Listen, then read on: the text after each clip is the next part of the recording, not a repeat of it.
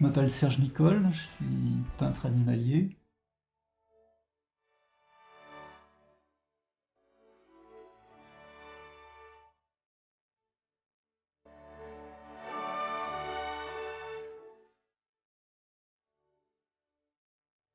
Les flamants roses, ce sont des, oiseaux très particuliers à la région. Pour moi, c'est un peu de, la terre africaine euh, en, Europe. Sont des oiseaux qui sont très communs sur le continent africain et, qu'on retrouve euh, dans les mêmes milieux sur, la côte languedocienne ou méditerranéenne. C'est un oiseau très intéressant à étudier il y, a, il y a 100 ans, ils étaient très très rares. Il y en avait quelques-uns en Camargue, mais ils étaient très, c'était des oiseaux très farouches et très difficiles à voir. Grâce à, leur protection, on peut en voir maintenant sur tout le long de la côte et les approcher d'assez près. Pour moi, le flamand, c'est un, un oiseau qui a des formes tellement particulières c'est un bon, bon, apprentissage pour le, pour le dessin parce qu'on ne peut pas inventer un flamand, il faut, le, il faut vraiment le regarder. Ça ne correspond pas au concept d'oiseau euh, qu'on a dans, la tête, qu'on pourrait, qu'on pourrait se représenter. Euh, le, le, a des. Le bec du flamand notamment est vraiment très particulier. C'est un oiseau qui est entre l'échassier et le canard. Je ne recherche pas du tout le, à reproduire photographiquement une image. Euh, je recherche à extraire l'essentiel, ce qui caractérise chaque, euh, espèce.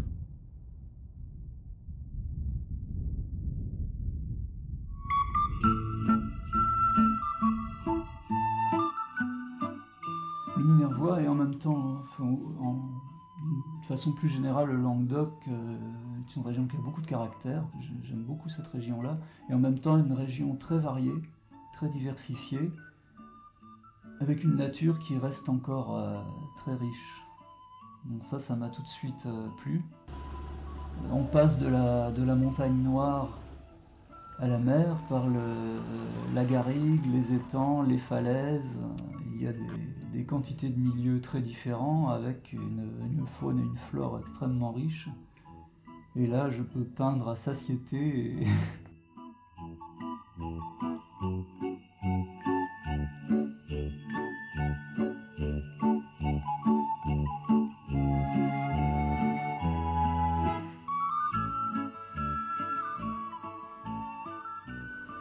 J'aime bien aller vers la petite passerelle qui est juste à côté de, la Connette, où de temps en temps il y a une petite rivière qui coule entre deux, falaises.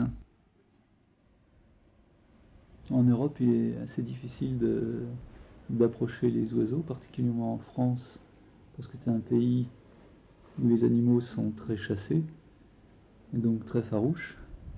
J'étais aux Indes il y a quinzaine de jours.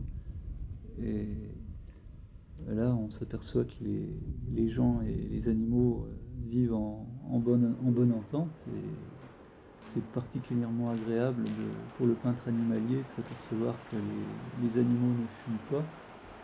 Et on peut les, les approcher à quelques mètres et les dessiner sans problème.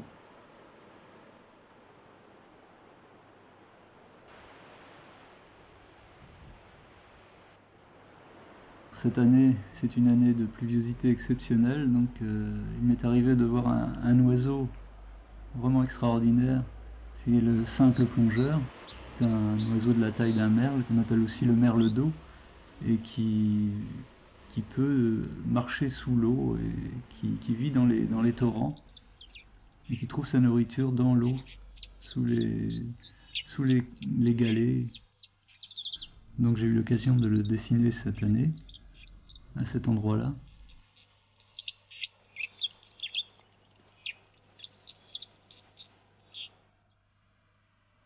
Sur le terrain, j'essaye, j'essaye de me faire oublier, de passer inaperçu, de, de faire partie du paysage surtout. Donc ça demande, euh, ça demande du temps, mais à partir du moment où on est intégré dans le paysage, les, animaux euh, peuvent se laisser approcher assez facilement. Je suis né à Clermont-Ferrand, euh, j'ai vécu 4 ans dans le Massif central, puis je suis, je allé en Normandie, où j'ai passé toute, mon enfance. Et à la suite d'un accident de, voiture, j'étais amené à, venir à Paris pour me faire opérer. Et là, j'ai rencontré des peintres. J'ai pu aller dans des, dans des ateliers pour euh, m'initier à la peinture, notamment la peinture à l'huile. Je suivais des cours au Jardin des Plantes avec M. Dandelot, euh, qui était en même temps euh, professeur de sculpture aux Arts Déco à Paris.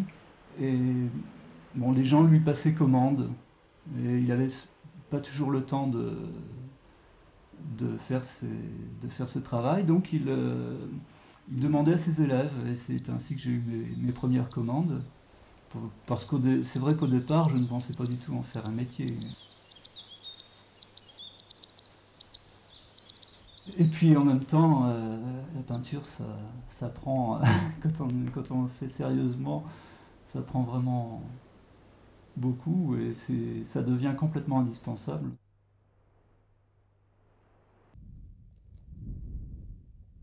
Ma période parisienne a été très très enrichissante, mais j'avais de plus en plus de mal à supporter la vie de Paris avec le, béton, la foule, le bruit, et j'étouffais de plus en plus. J'avais de plus en plus besoin d'aller me ressourcer dans la nature, et finalement, euh, au bout de cinq ans, j'ai craqué. Et des amis sont venus s'installer dans le Minervois pour euh, restaurer une ferme, et ils m'ont demandé si je voulais leur euh, donner un coup de main. Donc j'ai découvert la région à cette occasion et j'ai été complètement emballé. J'arrive dans le Minervois en 79, au printemps 79. Et là, j'essaye de trouver des petits boulots toujours pour pouvoir euh, manger et puis pour essayer de, peindre au maximum. Donc j'ai fait pendant assez longtemps le ramassage scolaire autour de Minerve. Et puis petit à petit, le travail venant, je passe de plus en plus de temps à peindre et j'élimine les, petits boulots jusqu'à en faire, faire de, l'art animalier mon métier à plein temps au bout de 3 ou 4 ans.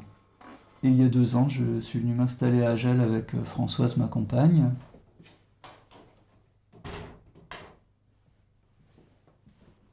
Vivre avec Serge, c'est euh, assez calme et tranquille. C'est vrai qu'il a, je trouve qu'il possède une grande force intérieure et qu'on peut, on sent qu'on peut s'appuyer dessus. Quoi.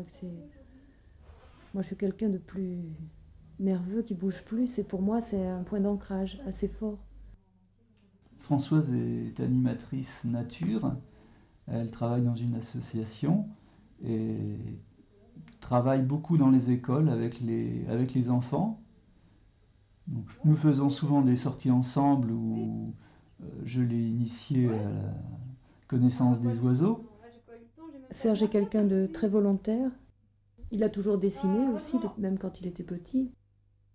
Le fait de pouvoir euh, réaliser vraiment que ce soit son travail, je pense que c'est vraiment ce qu'il était lui depuis toujours, qu'il a eu un certain mal à mettre en œuvre, puisque quand il était plus jeune, il a fait d'autres travaux, des choses qui lui plaisaient beaucoup moins.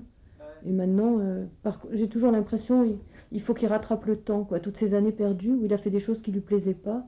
Alors maintenant, il n'a jamais le temps. Il faut vraiment aller d'un pays à l'autre, dessiner au maximum, pas perdre une minute du matin au soir, et rien faire d'autre parce que ça serait toujours du temps perdu sur cette œuvre euh, qui est mise en, place, quoi.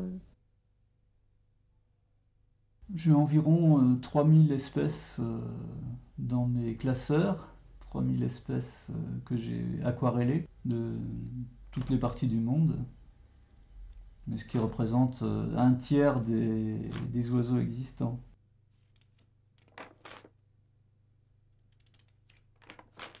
Il y a deux façons de, faire ce métier-là.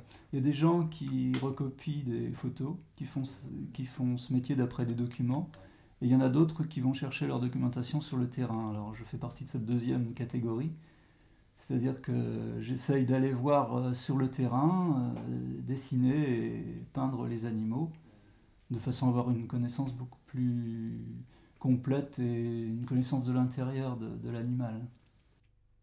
Je travaille avec des, organismes un peu dans, toute la France.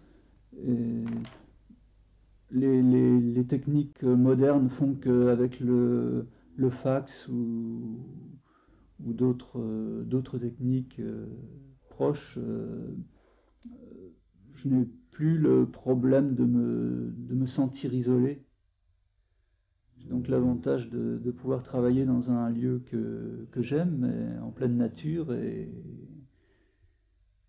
de garder le contact avec les éditeurs.